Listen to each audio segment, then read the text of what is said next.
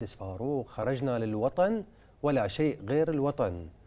وأردنا صفة العراقية على الثورة لا مثل ما وصفناه بعض السياس ما وصفنا بعض السياسيين إنها حرب شيعية شيعية.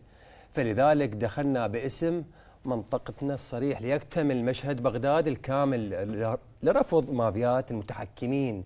دمائنا وأرواحنا وأرزاقنا ومستقبلنا. هاشتاج العراق.